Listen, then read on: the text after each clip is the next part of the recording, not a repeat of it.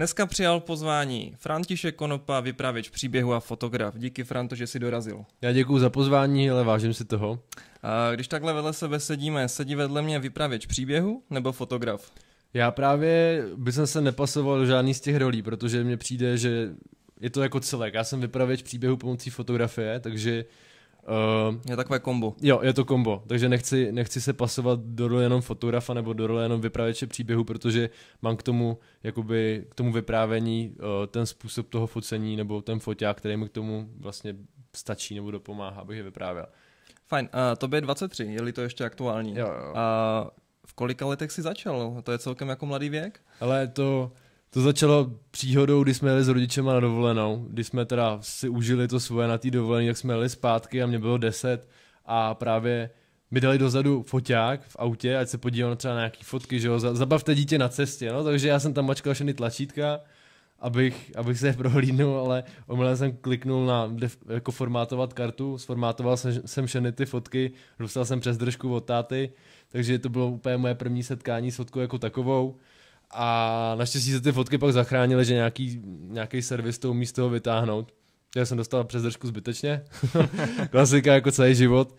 A, ale pak uh, jsem, si nějak, jsem si řekl, že to musím odčinit a táta měl ve skříně foťák. To je od 12 let jsem tam chodil vykrádat to jeho bohatství fotografický, to byl Olympus E530, E520, nevím, teď nejsem přesně jistý, co to byl za typ. Jasně. A Začal jsem fotit takový ty kytíčky, čmeláčky, západy slunce, to, co by mi jako někdo přinesl na talentovky, jak mu řeknu, že to je šrot. Jo, protože, protože to, ty fotky byly takový jako pro radost, jo, abych to ukázal babičce, dědovi, tátovi, mámě, nebylo v tom nějak jako systematičnost. Prostě jsem fotil to, co se spíš jakoby líbí, než, než by to mělo nějakou uměleckou hodnotu. No ale pak s postupem času jsem si uvědomil, že existují ženy, že existují holky na Facebooku, tak jsem kamarádkám začal fotit um, profilovky, což bylo v té době hustý, že, jo? že fotíte tam hezkým holkám zvanům profilovky, na tom si naděláš trošku nějaký ty kontakty dál k dalším holkám a tak. Takže jsem to měl trošku ne postranní úmysl, to nechci říct, takovou, ale... Tak šlo to ruku v jo, ruce. Jo, jo, jo, přesně tak, ruku v ruce. a, zase teď trošku zase. Pohodě, pohodě. To si takhle vzpomněl na moje mladý léta, před 8 lety, když mi okay, bylo 15. Okay, okay. To budeme vysílat po 22. Pokračujeme, Pak vlastně o, takhle začalo to moje focení. To byly ty moje začátky, kdy jsem neměl vůbec pojem o tom, co se děje ve světě, co se fotí, jaký jsou trendy. O, jaký jsou typy foťáků, pro mě ten Olympus byl vlastně božský nástroj, že jo, já jsem neměl vůbec přehled, jaký jsou objektivy nebo tak. Viděl jsem ale už se celou, celou na ISO čas, aby jsem jim vyfotil hezký úsměv, aby to bylo ostrý, aby tam bylo dobrý světlo, ale jinak jsem nad tím se nějak moc nelámal hlavu, no. Uh, ty bereš fotku jako řemeslo nebo jako umění? Já, kdybych, kdybych měl brát jako sám za sebe, tak já tvořím vlastně zadarmo ty svoje příběhy, kde nechci, aby v tom byl nějaký vliv peněz. Takže já se soustředím, já tomu neříkám sám osobně jako umění, to spíš jako je na, na lidech okolo, jak, jak to posouděj, že jo, jestli to je umění nebo ne, ale zřadím se spíš do té uměleštější sféry, která uh, nejde tu komerce za peníze. Já, já nemám rád, když někdo nade mnou stojí s byčem, že si mě někdo prostě zaplatí a pak pracuji za to, prostě, co mi ti řekneme. Já mám rád, když si to můžu určit, když já si můžu vybrat tu modelku, když já si můžu vybrat tu scénu a můžu udělat vlastně to, co na té fotce chce, jak už emoční, nebo co to má za záměr, to prostě, když mi někdo zaplatí. Proto, když se mě někdo zeptá, jako, Franto, vyfotíš mi sérii, tak já prostě řeknu, že ne. Jo, že já si tě musím vybrat sám, to, mm-hmm. to, je, to je proces takového Uh, takový selekce jako trošku. Tohle přesně dělají umělci. Jo, jo. Já, si, já si ty holky prostě musím vyselektovat, musím na ně kouknout, jestli se mi vůbec hodí do těch konceptů, protože já pracuji hodně improvizo, improvizačně a já mám jako momentálně v portfoliu asi 54 modelek zrovna a mám tam třeba 10 brunet, mám tam 15 blondýnek a tak dál. Všechny jsou rozesetý po České republice, ale většina je v tom Karlovarském kraji. Mm-hmm. Takže já, když chci fotit, Uh, tak napíšu, uh, teď se mi zrovna této sérii hodí bruneta, tak napíšu těm pěti brunetám, který jsou ve varech, tak která má čas, tak prostě už, už, jdem, už jdem fotit. Takže tady ten systém se mi v tom líbí, že mě nikdo jako uh, neomezí v tom, že musím fotit jenom jednoho člověka na daném místě, ale já si vlastně můžu jako vybrat. Jasně. A A vlastně ty učíš na střední škole fotografii a tam mrzíte kterou cestu? Toho řemesla, toho umění nebo nějaký balans mezi tím? Ale to je individuální, ty žáci jeden vlastně přes tematický plány, co oni jako musí podle ministerstva školství prostě se naučit. Takže oni si vyzkoušejí za ty čtyři roky, my s tím jakž tak můžeme hejbat naštěstí, uh, za ty čtyři roky si nau, naučí vesměs všechno. Jo, oni fotí architekturu, sklo a porcelán, uh, fotí uh, třeba reportáže, dokumenty, uh, portréty, takže nebo i třeba krajiny. Takže oni si můžou vyzkoušet všechno. Jasně. A když já vidím, že třeba v tom druháku už se ty děti jako formujou, už ví, co, co je třeba baví, tak vidím, že tam, tam to baví portréty, tak individuálně ještě na něj působím tak, dám mu nějaký rady, nebo třeba mu pomáhám s postprocesem v tom portrétu, aby se v tom zlepšoval, protože je blbost všechny hodit do jednoho pytle, aby prostě všichni razili jenom to samý, když tam máme individuál, individuální lidi, kteří jsou třeba introverti, mají tu umělecký, to uměle, umělecký zař, zař, zařazení v té fotce, tak chci, aby v tom pokračovali. Jo, ono občas je to složitější, protože eh, musíme brát po to, že těm dětem je třeba 15-16 let a ono se to hrozně, hrozně mění, ten jejich pohled na svět, jak oni to vnímají, jestli mají vůbec žaludek na to uh, fotit prostě za peníze, a nebo komunikovat s tím klientem. Je tam je hrozně moc faktorů, který no. rozhodnou až v tom čtvrtáku, teprve zjistím vlastně, jaký ty lidi jsou. Hmm. Ve skutečnosti. A jsou nějací nadějní konopové, uh, kteří vyjdou s maturitním vysvědčením letos?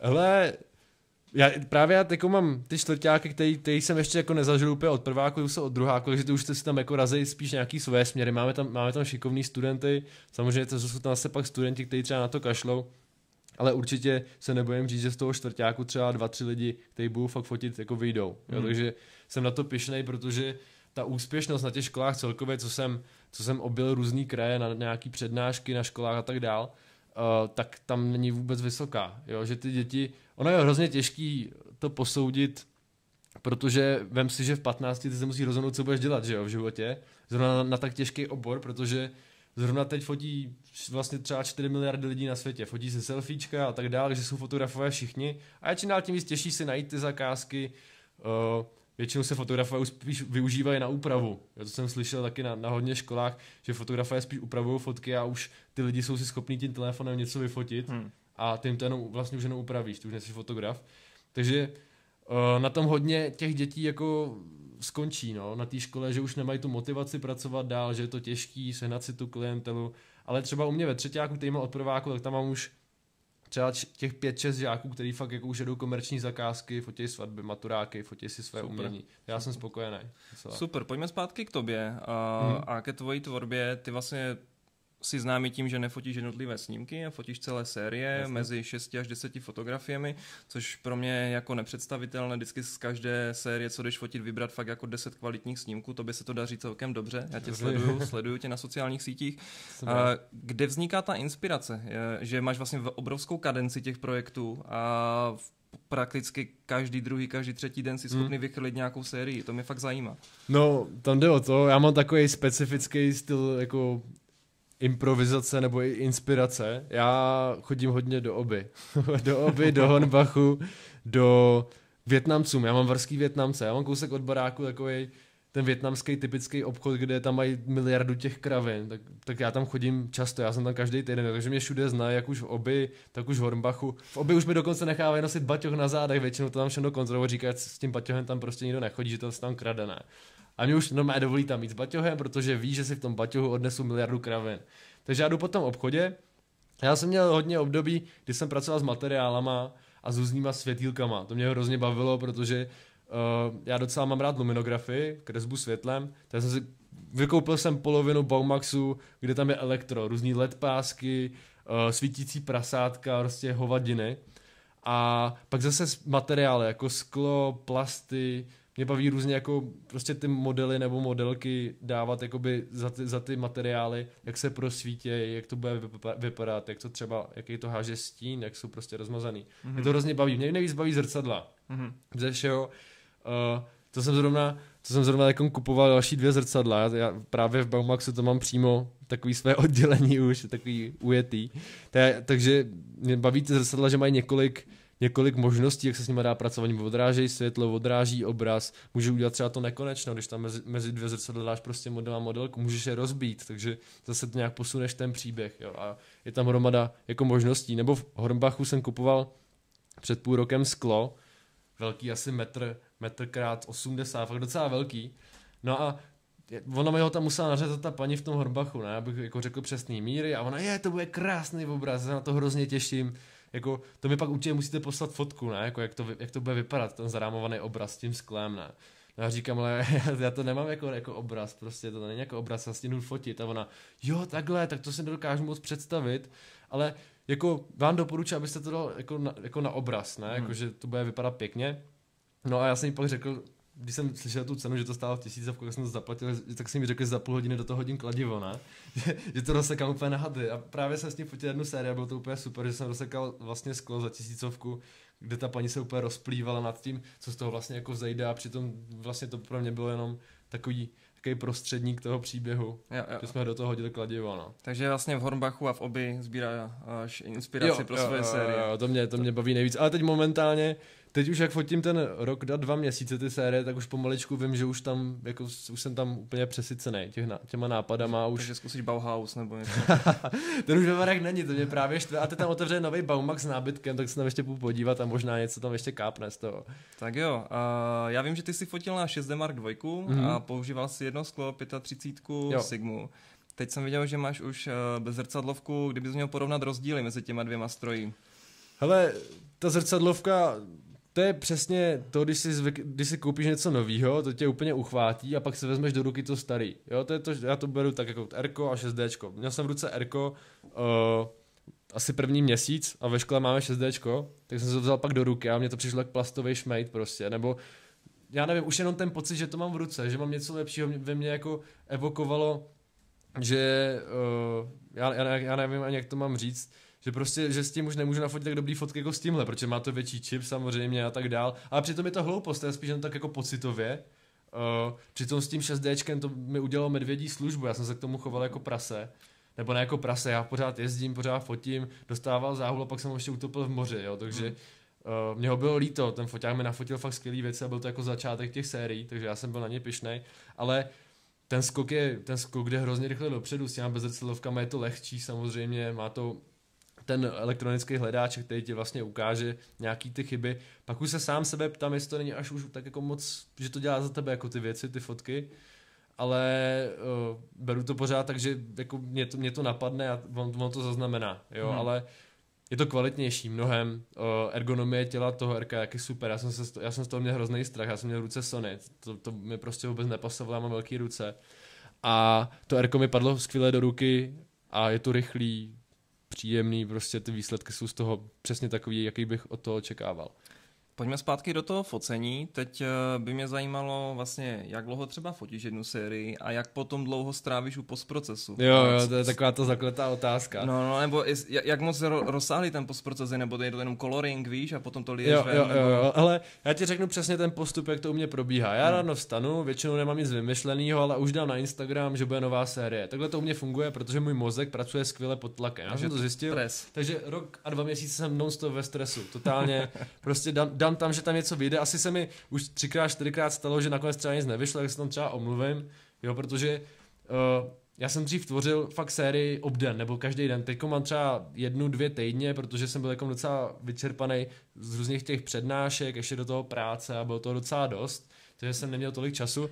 Ale ten proces přesně probíhá, takže já ráno stanu, oslovím už nějaký ty své modelky, jak jsem ti říkal, kolik jich mám v tom portfoliu, a ještě, jo, a ještě, a oni už s tím počítají, protože já s nimi pracuji dlouhodobě a ví, že já ještě nemám nic vymyšleného. Jenom jim prostě napíšu, co mají mít na sobě, to je nejčastěji černý rolák, protože je taky neutrální, že jo? Jasně. A pak jdu teprve vymýšlet. Jo, buď sedím v práci, čumím, prostě žáci pracují, tak jim třeba s něčím pomáhám, pak přemýšlím třeba nad tím, co bych třeba fotil, nebo jdu do toho krámu, tam se podívám, jestli mě něco nenapadne, tak vymyslím nějakou tu myšlenku, no a pak jdu fotit, to většinou trvá okolo hodiny, hodiny hmm. a půl, Občas jdu třeba na ty dvě, ale to už musí být něco složitýho. Většinou ten průměrný čas je kolem hodiny, nastřídím tam třeba 15 fotek. Já fotím hrozně moc fotek za to focení, protože já jsem na to docela ujetý, že já si vybírám přesně ten detail, ten úhel, který já potřebuju. A člověk třeba já nevím, ono se většinou dělá to, že člověk jako na fotce nemá mrknout, že, jo, že nemá zavřít oči, ale mně se už hodněkrát povedlo to, že ta fotka byla skvělá. Když ona mrkla a nevěděla o tom, Jasně. že mrkne, tak to mi mno, mnohem víc pomohlo, tak proto já fotím jako hodně. Pak to jdu promazat, takže skončím v práci ve dvě, fotím od, od dvou třeba do půl čtvrtý, pak rychle běžím domů, jsou čtyři a teď mám tři hodiny na to, abych to nějak zpracoval. Takže já první promazávám fotky, toho zabere nejvíc času pro mě. Jo, těch 15 prostě každý den tu tam prostě ženeš tím počítačem, takže bylo, je to šíleně náročná věc, takže to mi zabere hodinu a pak přichází ten postproces. Takže mě zbyde třeba 100 fotek, těch nejlepších, ty jsou perfektně ostrý, perfektní světlo, už tam jsou i nějaký ty mimický, mimický záležitosti ohledně třeba emocí a to pak já nakoloruju. Dělám coloring v Lightroomu, tam to, to mě hrozně baví, já mám rád práci s barvou, takže to asi na tonu, to mi trvá třeba 15-20 minut udělat všechny ty fotky, protože já si udělám základ na jednu fotku, pak už to ženu dál, pak už to doupravím. A pak už to vyženu ven, udělám retuše ve Photoshopu a vyberu třeba 20 nejlepších fotek z toho setu. To je pro mě nejtěžší část, protože uh, třeba každá ta fotka může ten příběh rozvinout nějak jinak. Jo, z těch 80 ze stovky, tak já musím přesně vybrat, jakoby, která je nejlepší a těch 10 finálních fotek vyretušovaných pak jde do světa, no, na Instagram. Většinou, většinou teď v zimě jsem dával okolo 19 hodin a v létě budu třeba okolo 18.30, protože lidi jezdí často z práce, nebo přemýšlel jsem, teď mám takovou trošku metodiku, že bych to dal třeba i později, třeba na půl, na půl devátou, protože venku, venku jsou lidi, že jo, mm-hmm. až teprve půl domů. Já to mám taky docela propočítaný ty časy podle algoritmu a tak já jsem na to docela ujetej. Takže záleží, kdy jsou lidi v práci, kdy tam končí, kdy se stmívá, kdy oni koukají na telku, protože tam máš největší obraty na tom Instagramu.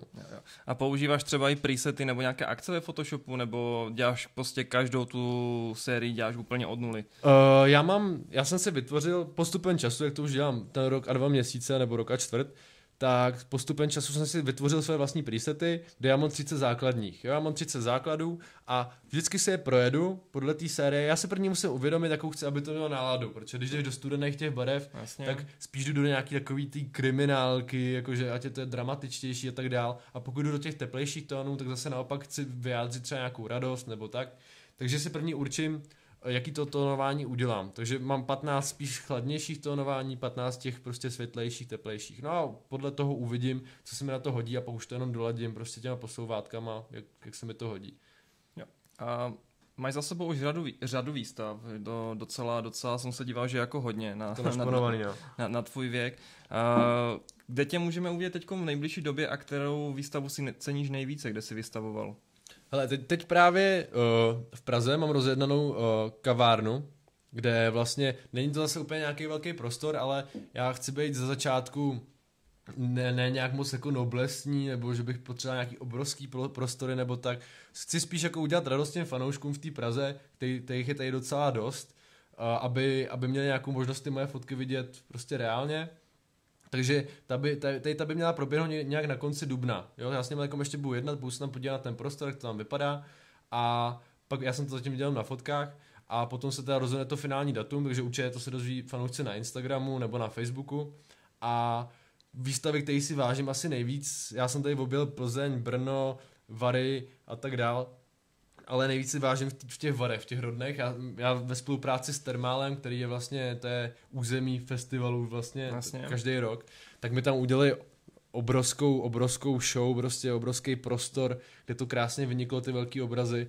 A dorazilo asi 400 lidí na vernisáž, což byl jako ranec, udělali, udělali nádherný občerstvení, šampaňský, všechno, chlebíčky, měl jsem tam rodinu, kamarády, vlastně celé město mě přišlo podpořit a mě to přišlo hrozně, hrozně fajn té té výstavě se vážím nejvíc. Ona vlastně vesměs byla největší, bylo na tom nejvíc, nejvíc práce, podpořilo mě i CV a Fotolab, ty jsou moji sponzoři, takže ty udělali tisky perfektní, takže tam všechno klaplo tak, jak mělo, nebyl, hmm. nebyl, nebyl vlastně ani žádný stres, já jsem byl ve stresu pod první, jako posledních půl hodiny předtím, jinak celou dobu to klapalo, jak mělo, táta vyrobil stojané, ten je úplně úžasný, vzručný, šíleně, takže to bylo fakt fajn, tam ty si vážím, no. A prodáváš i třeba po takových jako větších výstavách ty série, nebo zatím ještě ne? Ale zatím jsem neprodal ještě ani jednu.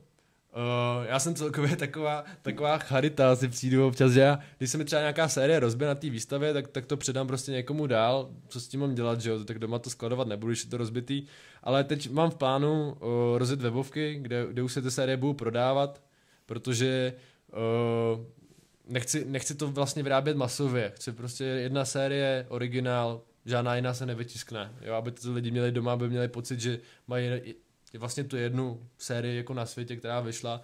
Teď to mám v plánu do budoucna, momentálně nic neprodávám, nic prostě neprodám dál. Pojďme teď na chviličku odbočit od fotografie. Ty jsi mi říkal vlastně, že jsi o čtyři roky na škole, na které teď učíš, pak si dva roky jo. uh, byl mimo školu a najednou se tam vrátil jako učitel ve 20 letech. Mm.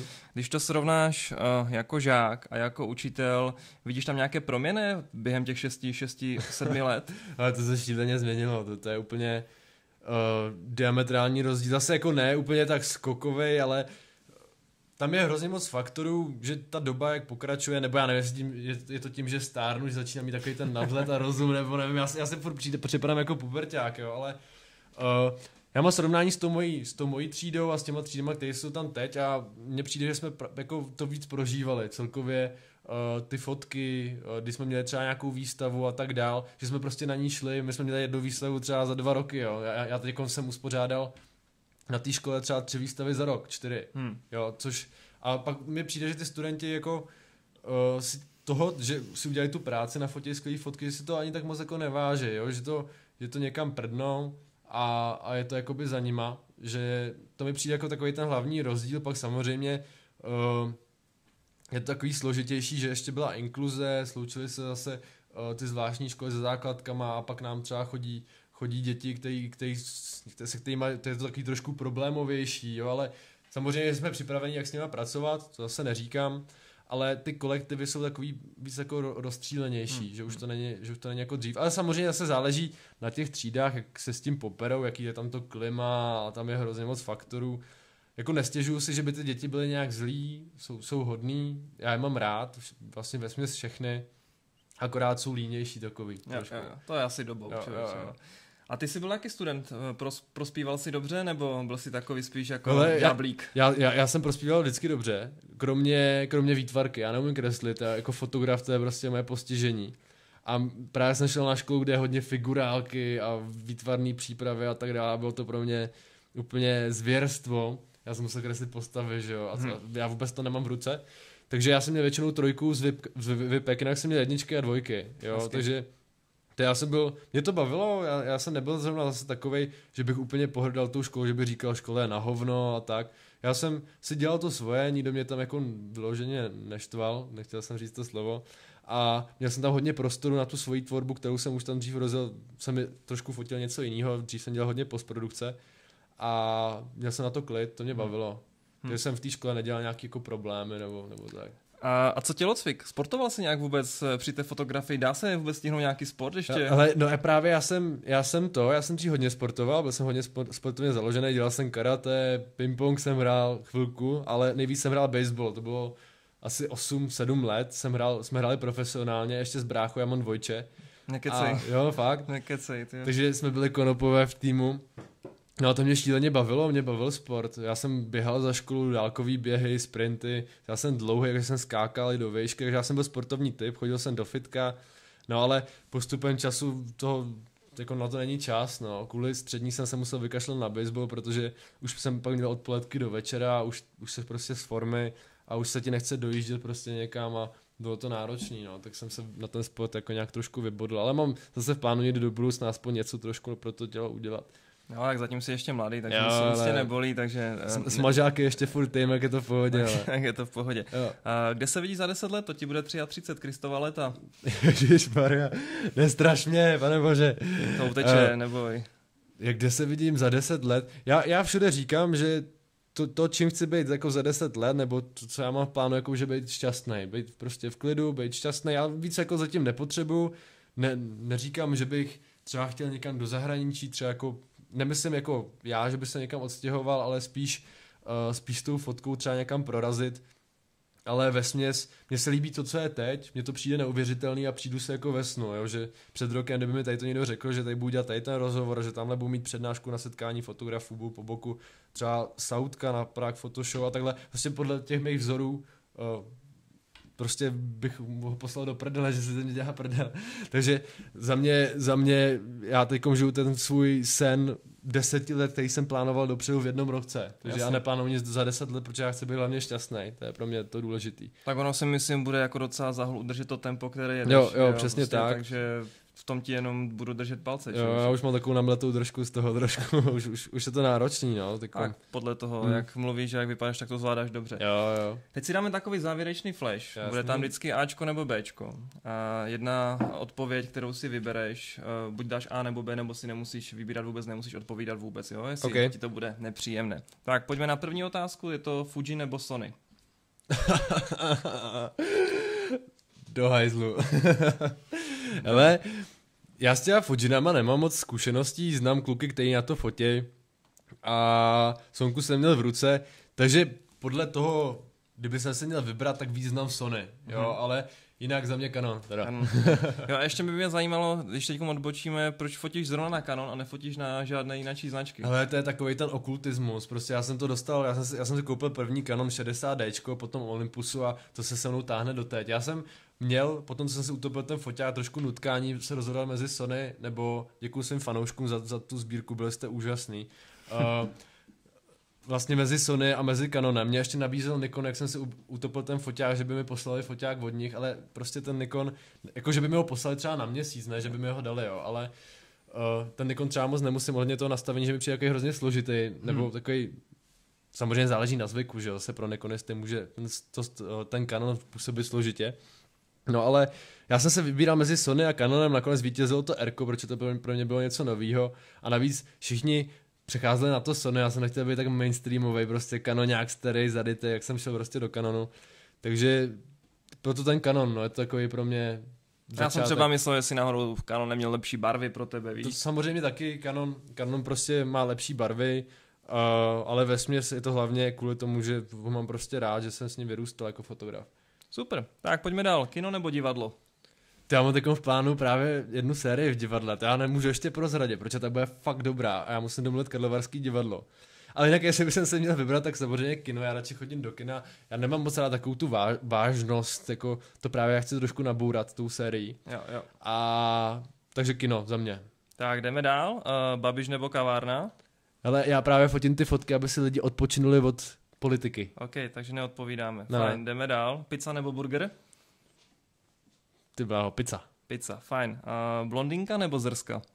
Bruneta. Bruneta. Good. uh, fotografování nebo škola? Ty jo, jak, jako ve směs, jak to myslíš, já takovou nevím. No, jako uh, role fotografa nebo role učitele. To jsi mě jako docela zavařil. To já dělám rád. Oboje. Oboje, fajn. Fo- fotograf, fotograf, učitel, učitel fotografie, to, ale to mám vyřešený, dobrý. OK, uh, ledecka nebo Jager? Jagr. Jager, Já jsem, já jsem hokejista, prostě já rád pozoru hokej, NHL a tak dále, já to miluju, takže No tak poslední otázku jsem měl fotbal nebo hokej, no s takže... fotbalem tě doháje hokej, hele, určitě. OK, OK, Františku. Já ti moc děkuji za rozhovor a přeju ti, ať se ti ve tvé fotografické uh, tvorbě dále tak dál daří a hlavně, ať udržíš to tempo, ať tě to nezrujnuje. Ale úplně, úplně děkuji moc za pozvání, užil jsem si tady ten rozhovor a snad jsem moc odpověděl na všechno správně, jak jsem měl. To mějte se všichni pěkně, posluchači tady. Vám zamávám. thank